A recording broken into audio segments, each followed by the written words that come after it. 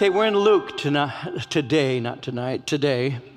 And we're going to look at chapter 16, verses 19 through 31. We're looking at the parable. It's been referred to as the parable of the rich man and Lazarus. So, and so let me read to you from verse 19 to verse uh, 31, and we'll get into our study. Luke chapter 16, verses 19 through 31. The parable of the rich man and Lazarus. There was a certain rich man who, who was clothed in purple and fine linen and fared sumptuously every day. But there was a certain beggar named Lazarus, full of sores, who was laid at his gate, desiring to be fed with the crumbs which fell from the rich man's table. Moreover, the dogs came and licked his sores. So it was that the beggar died and was carried by the angels to Abraham's bosom. The rich man also died and was buried. And being in torments in Hades, he lifted up his eyes and saw Abraham afar off and Lazarus in his bosom. Then he cried and said, Father Abraham, have mercy on me. Send Lazarus that he may dip the tip of his finger in water and cool my tongue, for I am tormented in this flame. But Abraham said, Son, Remember that in your lifetime you received your good things, and likewise Lazarus evil things. But now he is comforted, and you are tormented. And besides all this, between us and you there is a great gulf fixed, so that those who want to pass from here to you cannot, nor can those from there pass to us. Then he said, I beg you, therefore, Father, that you would send him to my father's house, for I have five brothers that he may testify to them, lest they also come to this place of torment. Abraham said to him, They have Moses and the prophets, let them hear them. And he said, No, Father Abraham, but if one goes to them from the dead, they will repent. But he said to him, If they do not hear Moses and the prophets, neither will they be persuaded, though one rise from the dead. And so recently we had Dr. Hines in here, and he spoke to us about the rapture. And in his study, he said something like, Jesus is coming back, but is he coming for you? And then we had Larry Powers who spoke on the tribulation. Because you see, if he, if he isn't coming for you, then the tribulation is something you will go through. Well, today I want to share a parable that is called the parable of the rich man and Lazarus. You see, if he isn't coming for you, and there's something you could go through, then in the end, where are you going to? So I want to share with you about that today. And I'm going to do so in this way. I'm going to lay the foundation as I normally do every time we have a Bible study. I want to give you a context because the context helps us to understand the point that Christ is making. And so I'm going to share with you a foundation, a context, establishing that foundation so we can understand the point of this. And I'll begin by, by, by saying uh, something about the use of parables. You see, a parable has been defined as an earthly story with a heavenly meaning. The word parable speaks of, uh, of placing one thing by the side of another in order to make a comparison. a parable is a story in which the nature of God's kingdom is figuratively, figuratively illustrated because God uses the familiar to communicate the unfamiliar. God, in other words, will use creation to re- reveal to us things about Himself in order that He might illustrate spiritual truth. It's like what it says in Psalm 19, verse 1 the heavens declare the glory of God, and the firmament shows His handiwork. It's like what it says in Hebrews 3, verse 4 for every house is built by someone. He who built all things is God. And so, if the heavens are declaring the glory of God, it's because every house is built by some man, and the one who built all things is God. And so, God will use the, uh, the normal to illustrate to us things that we can't co- comprehend. He reveals to us Himself, He reveals spiritual truth. Jesus used parables quite often. About one third of His recorded teachings came through parables. It's been said that parables are, are mirrors and windows. We see ourselves in them and we see life through them. Parables reveal truth, they illustrate doctrine, they develop our spiritual understanding. Parables are also useful to uh, separate lazy listeners from hungry followers. You see, even today, there are, are, are numerous people that would be described in Scripture, defined in Scripture really as lazy listeners. In other words, if it requires something on my part to do or comprehend, then I really don't have any time for it or desire. So when Jesus would speak in a parable, the lazy listener would, would, would listen but wouldn't do anything to try and understand what was being said. Whereas a hungry disciple would say, What does he mean by this? I'd like to know. And they would pursue it with more depth and sincerity. And so Jesus would use parables to separate the lazy listeners from hungry followers. It's, it's like what it says in Proverbs 25, verse 2, where it says, It is the glory of God to conceal a matter, but the glory of kings is to search out a matter. And so the same message that awakens one person to their need for God will actually harden the other. The same sun that, that hardens clay will melt wax. The same sun, the same message that causes somebody to say, I want to pursue this further and know, that same message will have people who will walk away saying, This is a hard saying, who can understand it? And so parables were used by Christ to separate the lazy listener from somebody who is hungry for truth. And so we're going to be looking today at the story of the rich man and Lazarus. Now, at the heart of this particular story is really a warning against greed and materialism.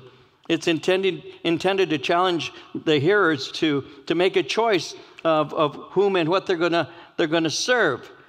And in order to see that, you need to just remember that in this chapter, chapter 16, the whole context that leads up to this parable found in verses 19 to the end of the chapter is found in verses 1 through 13, where Jesus was giving a story concerning uh, a, a, man who was a steward but had been unfaithful. And, and when you look at that particular story Jesus gave, it speaks of an unfaithful steward who had been scattering or wasting his employer's goods. And the, the owner had become aware of this. He confronted the man, and after he did so, he fired him. So, in this story, Jesus made it clear that stewardship is a test of a person's character. How someone manages God's finances reveals the depth of a person's faith in Him. And as he was giving this particular story and all, in verse 13, he made it very clear you can't serve God and man equally.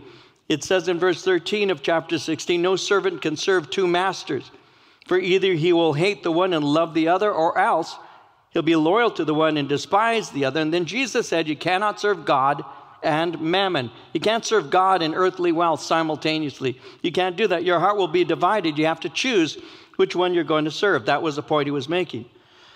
But after Christ gave that statement, notice verse 14, how it says the Pharisees, who were lovers of money, also heard all these things and they derided him. And so that gives to us an insight into what's taking place. You see, Jesus was speaking, in chapter 15, it tells us, and later on, in chapter 15, it speaks concerning the fact that Jesus was speaking to, to what were referred to as sinners, but he was also speaking to uh, the Pharisees and their scribes. He was speaking to disciples as well as his apostles. So he has a mixed group of people that he's speaking to, and the Pharisees are there amongst them. The Pharisees are the religious leaders, the conservative religious leaders of Jesus' day. And as he's there speaking to them and all, they're included in this. They're hearing his parable, they're hearing his stories. And as they're listening, they begin to sneer at him. It's interesting how it says in verse 14 the Pharisees, who were lovers of money, heard all these things and they derided. The word derided is a Greek word that speaks really of curling the lip and, and the, the nostrils flaring. It's really showing that they had a visible reaction. Jesus is speaking, and as he's speaking, there's a visible reaction. He sees them as they're responding, sneering at him, their, their nostrils flaring, their lips curling, and they have a very obvious rejection that's taking place. They physically responded, they're sneering at him. Now, what's interesting is this is taking place, and Jesus now is confronting them, which is interesting in itself because I think that today a lot of people think of Christians and Christianity in general as being very passive and very weak, and Jesus was neither. We have a picture of him, and it's the famous pictures, really, of Jesus with a lamb over his shoulder with kind of a soft smile. But Jesus also thundered, Jesus also had eyes that were a flame of fire. And Jesus would speak and confront. He didn't leave it alone, he spoke about it. And as he's speaking here and he's saying to them, you cannot serve God and mammon. You can't love money and you can't serve God equally. Something has to go. And he was calling people to a, to a choice that they needed to make. What are you going to serve? There these religious leaders are, and they're sneering at him. You can almost see them nudging one another with their elbow, just going, This is crazy. Are you. What does he think he's doing? Who, do you th- who does he think he is? They're visibly reacting. And as they do so, Jesus directly admonishes them. Notice what he says in verse 15. He said to them, You are those who justify yourselves before men. God knows your hearts. For what is highly esteemed among men is an abomination in the sight of God. That is direct, straight to them, in front of everybody. Jesus says this Everything you do and say is intended to deceive people into thinking that you're good. Your religious deeds are intended to make people think that you're righteous. But the actual fact is, it's an act. But God knows your heart. You see, Psalm 90, verse 8 says, You have set our iniquities before you, our secret sins in the light of your presence. Our secret sins the things that we think, the things that we feel, the things that we hide from people.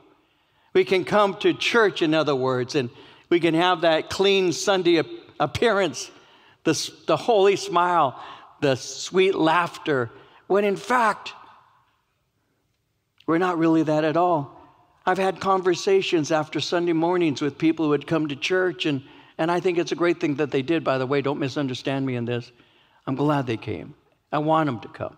But I've had the most interesting conversations after church. I remember many years ago now, I can say this openly at this time, of a woman who approached me after a Sunday morning service who said to me, Pastor, I need forgiveness from the Lord. She says, I was on my way to church today. She was a single woman. I was on my way to church today, and I stopped to see an old boyfriend. I ended up having sex with him even before coming to church. That happens. We've gone into the bathrooms to clean up uh, after Sunday mornings and found uh, whiskey bottles that had been drunk and emptied and left in the trash. We have found things like that. We've had people take agape boxes and we've found them busted into and broken and the money taken out of them. The people who've come to church here. That happens.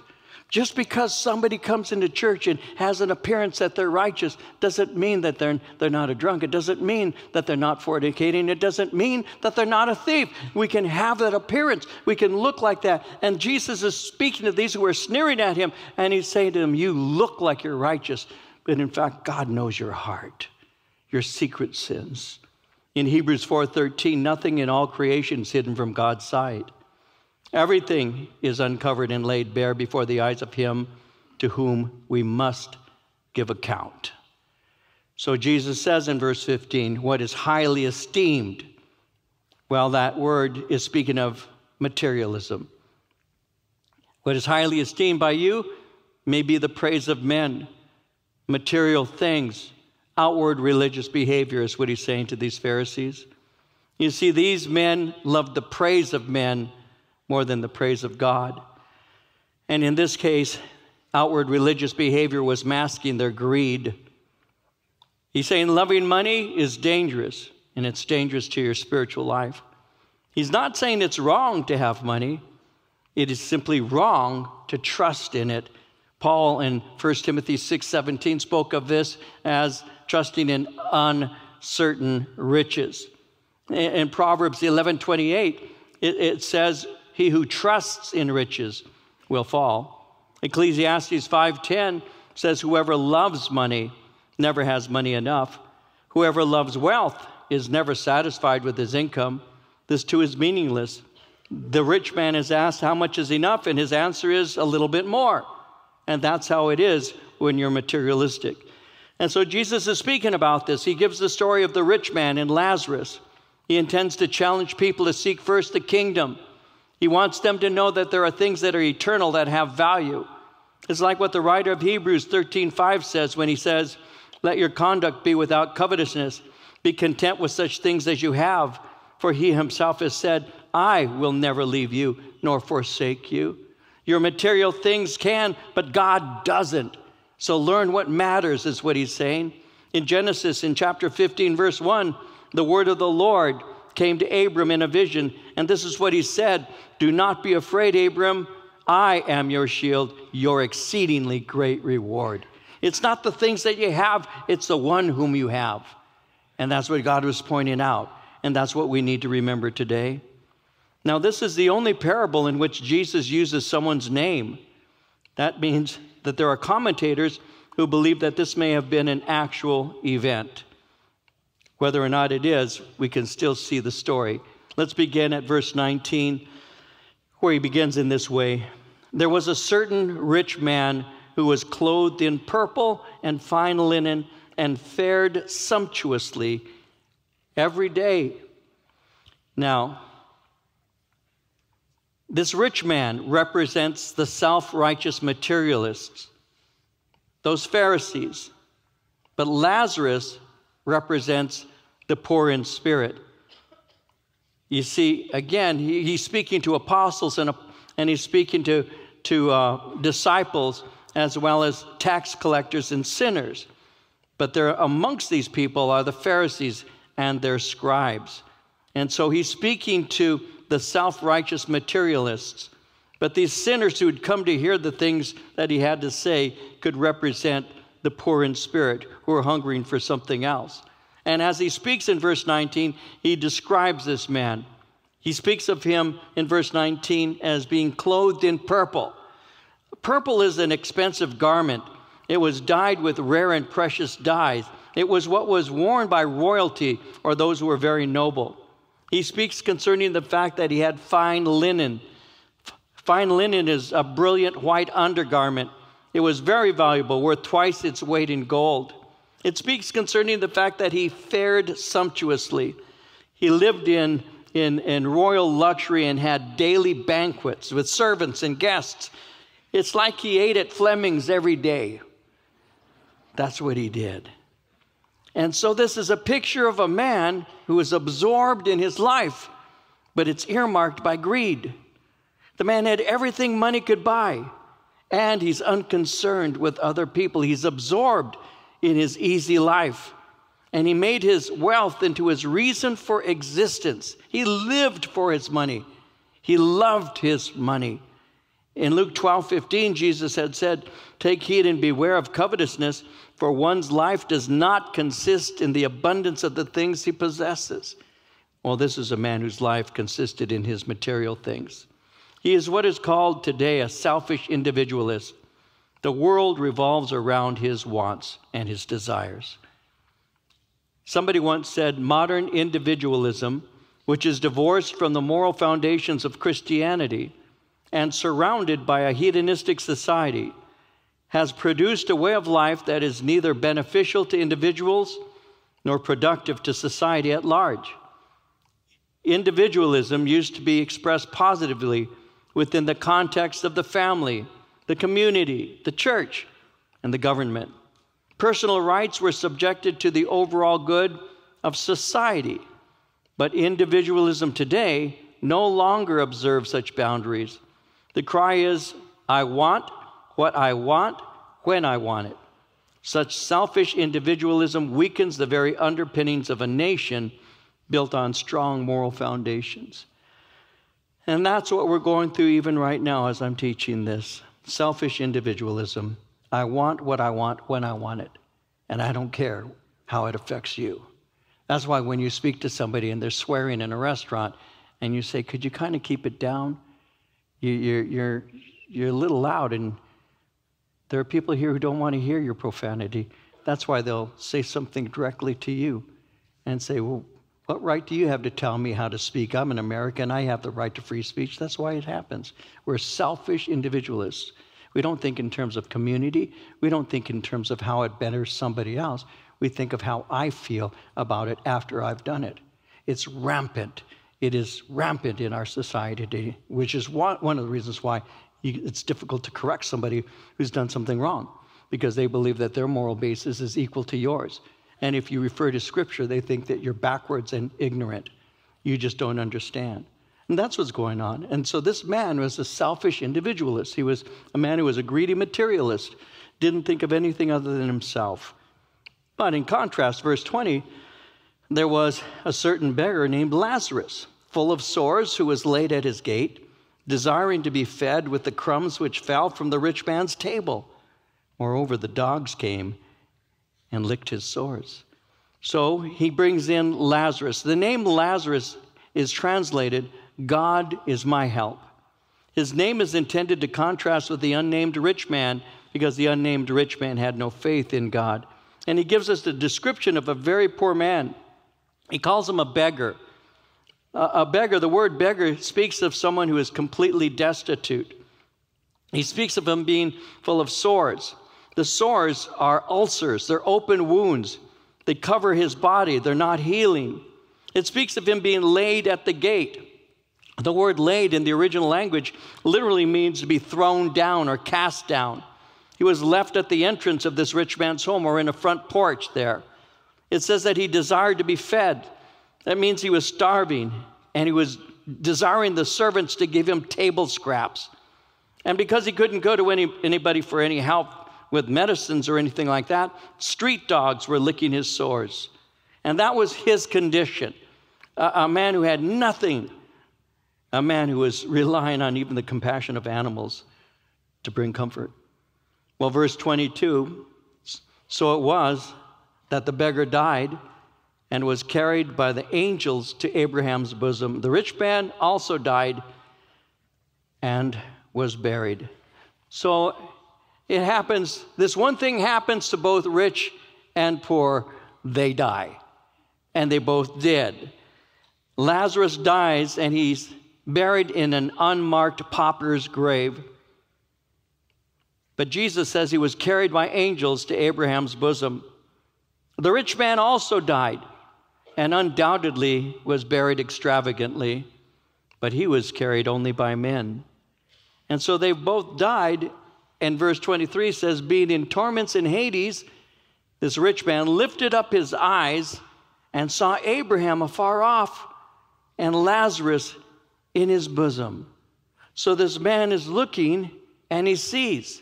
You see, they both died. They ended up in two different locations. One is referred to as Abraham's bosom, the other is referred to in Hades.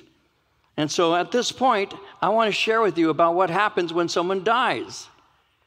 Because that obviously is something everybody thinks about a few times in their life. As you grow older, you think about it more. There are many who think that when someone dies, nothing actually happens. They think the body simply deteriorates and that's pretty much it. We become food for worms. You know, we die, we're buried, and that's it, nothing else.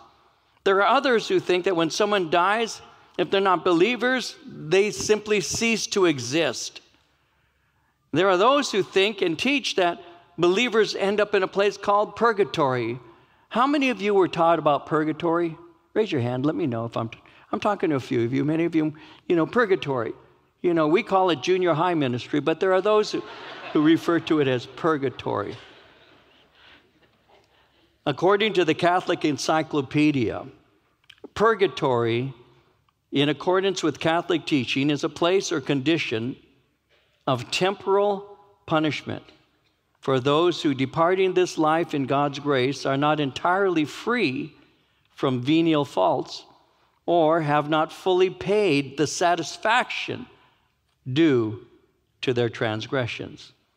According to the Catechism of the Catholic Church, purgatory is part of the Catholic doctrine of faith where a final purification occurs in order to achieve the holiness necessary to enter heaven. That's the Catholic doctrine of purgatory. I was raised as a Catholic. I was going to catechism classes that were preparing me for First Communion. We went through our catechism, and as we went through catechism, they would teach us on various subjects. Purgatory was one of them. And I still remember as I was reading through that little booklet that they gave to us that there were prayers that you could pray that would reduce your sentence in purgatory. I don't know how many of you remember that. I asked first service, does anybody remember that? And I had a number of those who were raised in the Catholic Church, and a number who went through catechism raised their hand. Yeah, I, I remember those prayers. I remember those prayers. And, and it said if you say the Our Father, you'll cut off like 100 days. If you say the Hail Mary, you'll cut off 75 days. You know, so there were various prayers. And I remember sitting in that catechism class once I read that and repeated those prayers and others for the whole class. And I was keeping mark of how much time I was going to cut off my sentence because that was basically how, how we were taught. And I walked out, you know, I cut off years, years of my sentence by just repeating these prayers. It was a common doctrine to be taught. It still is being taught. And again, I cited the uh, Catholic Encyclopedia as well as the Catechism of the Catholic Church. That is what is taught. But that's not true because it is appointed unto men to die once and after this judgment. We are not purged by a flame in purgatory. The word purgatory is from the, Greek, the Latin word purge. It speaks of cleansing or purifying, and the picture is through, through flame, through that kind of purification process. We were not cleansed by fire. We have been cleansed by the blood of Jesus Christ. And He cleanses us from all sins, not some sins. There's no residual effect of sin. When you die, you go direct, I'll, I'll get into this in detail in a moment, but you don't go into, oh boy, my, my purgatory, I'll be here for 100,000 years. But it, it's not that way at all. The Bible doesn't teach that. I'll show you this in a moment. You see, none of, what the new, none of this is what the New Testament reveals about what happens after death. During the time of Jesus, the souls of the dead went to a place called Hades. Hades at that time is described as having two compartments one, the righteous dead, the other for the unrighteous. The temporary abode of the righteous dead was called Abraham's bosom, which is what we're seeing here. This was the abode of the righteous dead prior to the resurrection of Jesus Christ. Verse 25 reveals it to be a place of comfort and rest. Notice how Jesus, speaking of Lazarus, says he is now being comforted. After Jesus' resurrection and ascension, the place of the righteous dead is heaven. In John 14, 1 through 3, remember this? Let not your heart be troubled. You believe in God, believe also in me. In my Father's house are many mansions. If it were not so, I would have told you. I go and prepare a place for you, and if I go and prepare a place for you, I will come again and receive you unto myself. For where I am, there you may be also. Where is Jesus? He's seated at the right hand of the Father. Where I am, there you may be also. He was promising to take us to be with him in heaven. In 2 Corinthians 5 6 through 8, Paul said, We are always confident and know that as long as we are at home in the body, we are away from the Lord. We live by faith, not by sight. We are confident, I say, and would prefer to be away from the body and at home with the Lord. That's his desire to depart to be with him. That's our blessed hope to see Jesus Christ and to be with him. And so, in this story, Lazarus goes to the place of the righteous dead. There he receives comfort. But the rich man goes to the temporary place of the unrighteous dead. It's interesting as Jesus is speaking, how he speaks concerning the rich man. The, the rich man remembers certain things. Notice how it says uh, in verse 24 he cried and said, Father Abraham, have mercy on me Send Lazarus that he may dip the tip of his finger in water and cool my tongue. I'm tormented in this flame. So notice this man recalls his religious roots. He, he calls him Father Abraham. So that tells me he's a Jew and he understands something in that he recognizes and calls him Father Abraham. It's very, very uh, possible that he had religious training, but he never became a child of Abraham. He never had the faith of Abraham. He was simply aware of him. It's like guys or, or ladies who, who, who speak of how they were raised in a church, they went to Sunday school, they re- received religious instruction. And they'll speak to you about it, and sometimes they do. And on occasion, I'll have a conversation with people who will be saying things like that. Oh, yeah, I was raised in the church. Really? And, and, and you know, and how's your walk with the Lord? No, I, you know, but I was raised in the church. It, it, it, doesn't matter right now. When I'm older, it'll matter, but right now, I'm just kind of enjoying life as it is. That's not the attitude of, of Lazarus. That's the attitude of that rich man who's enjoying life for what it has to offer him. And this man is speaking and he's saying, Abraham, Father, I, have had religious training. I know who you are. But the fact is, he never had the faith of Abraham. Is another thing. He, he became aware of his need for mercy. He asked Abraham for it. That reveals that he realizes he doesn't deserve it, but he greatly needs it. This is something he could have had, this mercy, while he was still alive. But when you die, it's too late. There are people who think that perhaps in between dying and the judgment seat, that they're going to be able to beg for mercy. But if you die with a lack of faith, you go into eternity in that condition. There's no second chances whatsoever. And third, he still thinks that someone should meet his needs. Notice he asked for Lazarus to dip the tip of his finger in water and bring it to him. It may be that he thinks of himself worthy of being served even there, but it may also reveal that he sees that Lazarus was a good man who did serve others, which would contrast him with Lazarus. He's in torment, it says. When you read that, I am in torment, that word tormented, I am tormented in this flame. That word torment means agony. It's translated grief, pain. It even speaks of torture. I'm aware that Lazarus is being comforted, but I myself am being tormented. I am tormented in this flame. The word flame, the picture of fire in the old as well as the new, is a picture of severe pain. And that's what he's saying. I am in severe pain. This is a man who remembers in a moment, he's going to speak concerning the fact that he has five brothers. In eternity, you remember. You'll remember opportunities. You'll remember teachings. It's going to gnaw on your soul. The opportunities that people had to turn to Christ and would say at a later date or maybe some other time.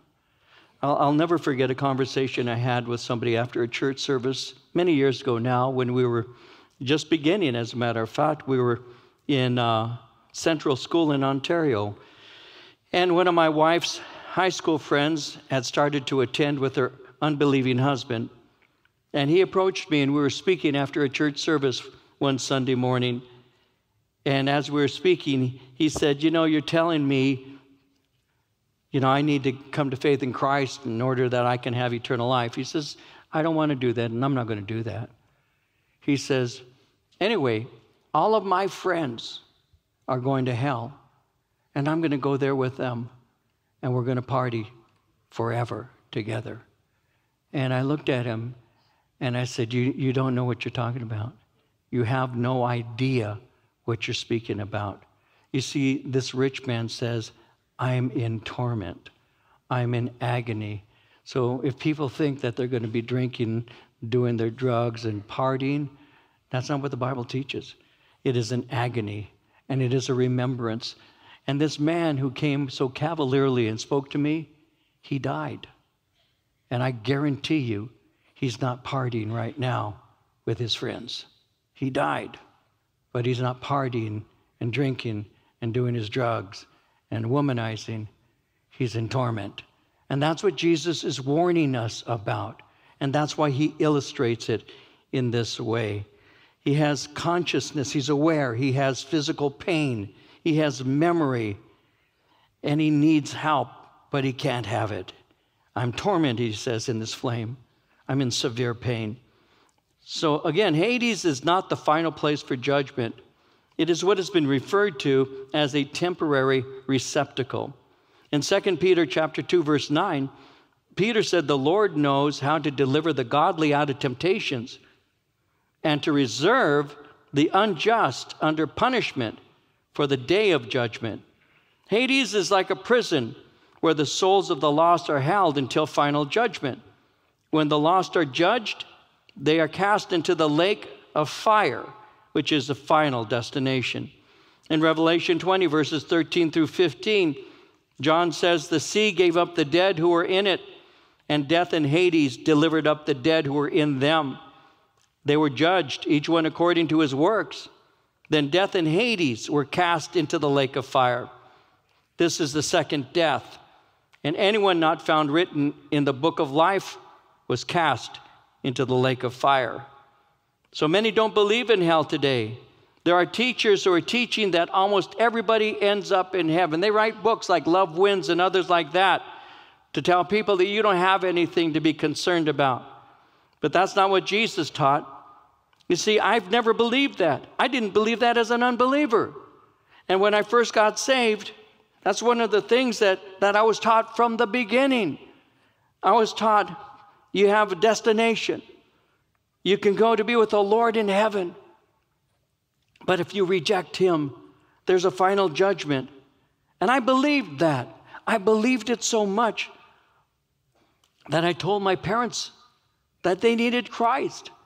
You see, if I didn't believe in hell, I would have never spoken to my dad. I would have never witnessed to my mom. I would have never talked to my brother or my sisters. Why would I have to? They're going to end up in heaven anyway. What's the big deal? Why alienate them? Why have problems with mom? Why have problems with dad? Why have my sisters mad at me or my brother reject me? Why? What, what, what's the big they're all going to heaven, but that's not what the Bible teaches. What has happened in the last 50 years or so is hell once again has come into it's a subject that people don't they don't want to refer to. They don't want to speak about it. People don't want to hear about it. They want to believe that everybody goes to heaven. Everything goes to heaven. Even dogs go to heaven. Horses go to heaven. I mean, there are people who say even cats go to heaven. That's not possible. But everybody goes to heaven. But does the Bible teach that? It is appointed unto men to die once, and after this judgment. Bible doesn't give us that.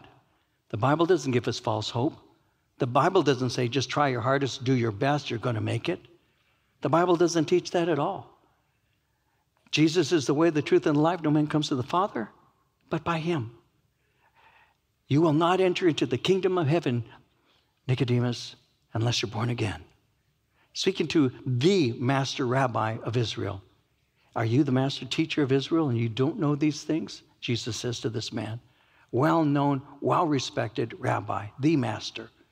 And you don't know these things, these basic things? You have to be born again. Your sin has separated you from your God, and your rituals will not make you right with Him.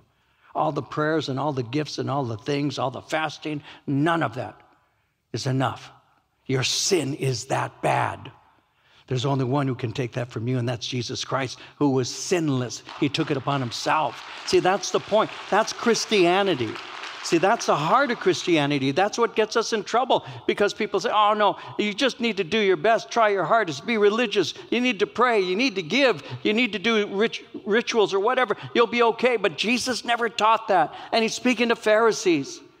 And he's saying, You guys look good on the outside. You're whitewashed tombs, is what he called them.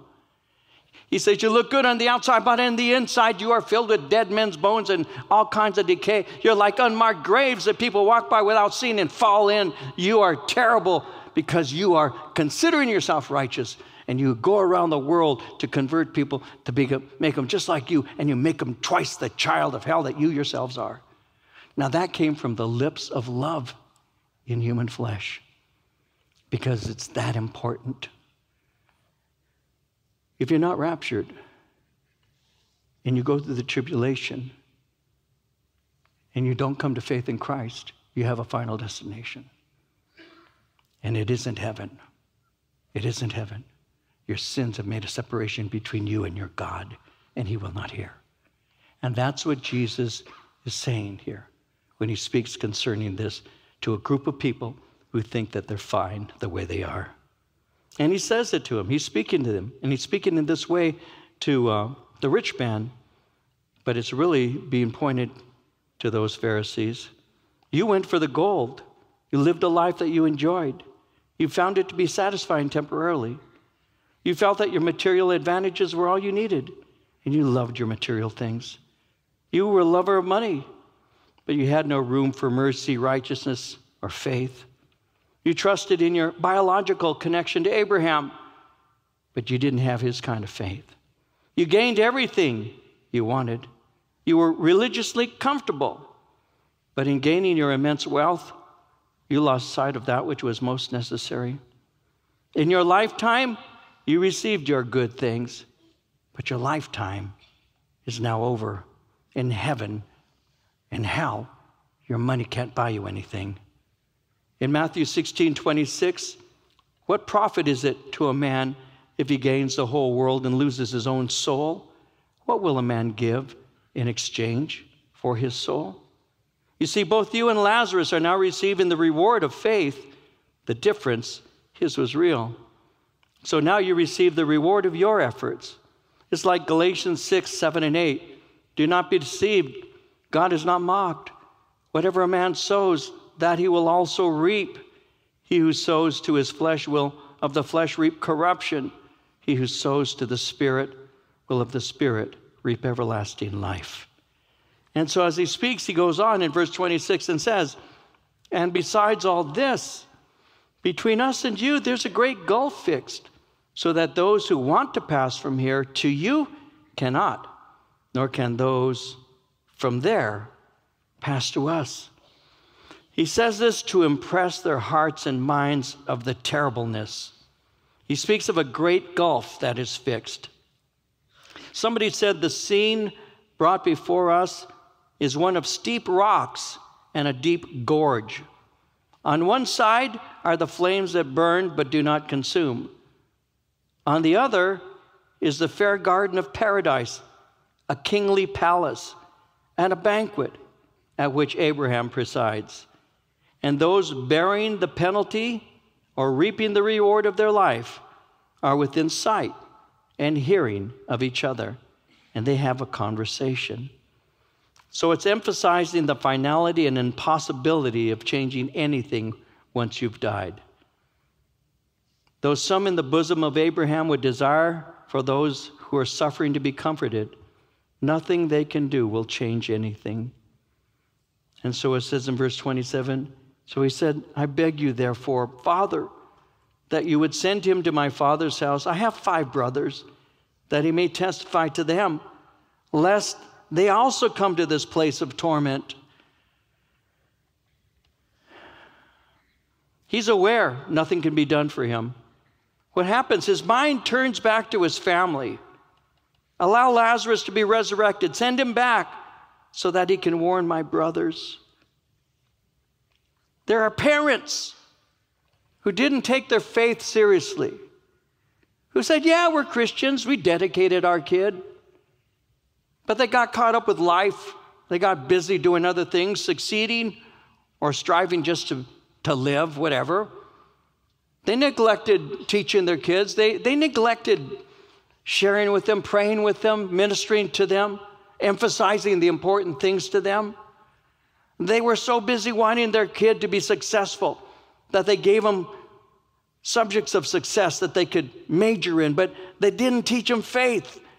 And it's a picture of a, of a, a guy who could die and realizes that he's got kids, kids that are going to end up here because I never showed them what I needed to show them. Give me a second chance. Send somebody to speak to them. Let them know, don't come here. Don't come here. Please. And that's what he's doing. Please. I'm tormented. I'm suffering. I'm in agony. I've got five brothers. Send Lazarus back from the dead so that he can share with them and warn them not to come to this place. I don't want them to be tormented like I am. This also may be an attempt to claim that he wasn't sufficiently, sufficiently warned about judgment. There could be kind of an underlying, it's not my fault mentality. I didn't know enough, I really didn't understand kind of thing. But notice the response, verse 29. Abraham said to him, They have Moses and the prophets. Let them hear them. He said, No, Father Abraham, but if one goes to them from the dead, they will repent. But he said to him, If they do not hear Moses and the prophets, neither will they be persuaded though one rise from the dead. They have the word of God. Moses spoke concerning the coming one, that there would be one who is like unto him, which was another phrase or image of Messiah. The prophets prophesied concerning the coming of Messiah. There are over 300 specific scriptures in the Old Testament that speak concerning Messiah. They have the scriptures.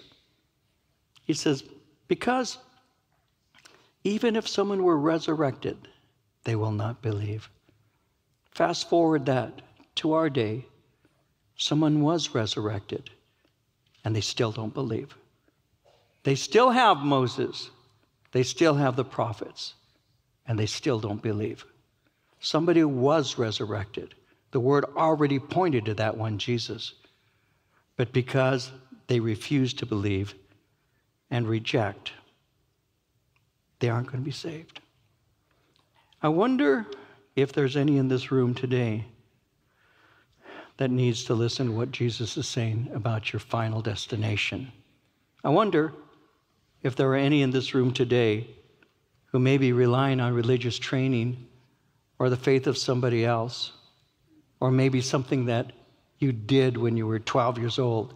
I can't tell you over the years how many times people have said, Oh, I came forward at a Billy Graham uh, crusade when I was 12. I just never followed God after that and thought they were saved, even relying on that for salvation. There's quite a number of people who think that because they went forward that they're saved.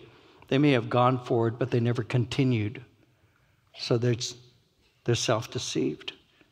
I wonder if there's any in this room right now who's in sin and you know it.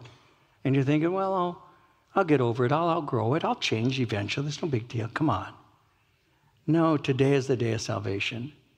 Today is the day you get right with God, not next week, not next month, not next year, not when you make a little bit more or have some more to give or do or time to, to help. No, it's now. Because there are going to be plenty of people like this rich man who will say, please send someone. And the answer is still the same someone was already sent. And in the back of their mind, they will remember because he remembers. He remembers. He remembers who Father Abraham was. He remembers he has family. He remembers. He's conscious. He's aware. And he will think of that. And guess what? He's been thinking of that for the last 2,000 years. He's been thinking of that. Because if this is a real story, this rich man still remembers his conversation that he had had with Abraham that moment doesn't leave him. And it won't leave you either. So, what's the answer? Get right with God. Get right with Jesus Christ. Let God's Son's blood wash you and cleanse you from all your sin. Let His Holy Spirit fill your life and transform you and make you into His image and use you for His glory and forgive you of all your sins so that you don't rely on that bottle anymore to try and forget. Because when Christ comes and washes you clean, that's the old man, but I've got the new, and that's all the past. I don't need it anymore. Understand that. That's what happens when you give your heart to Christ. If any man is in Christ, he's a new creation. Old things are passed away. Behold, all things have become new. You're buried in Christ, but resurrected with his life. What is better than that? And that's why Jesus is speaking to these men. And he's saying to them, You love money, but your money won't buy you another minute of life. You will meet the judge. It's appointed that you do. But I can stand before God in the righteousness of Christ because he took upon himself my unrighteousness. He gave to me what I don't have, and I gave to him all that I had, which is my sin. He washed it, cleansed it, gave me his spirit, and made me new. I was once his enemy, and now I'm his son. That's Christianity. And that's what we need today. We need to be aware of this today.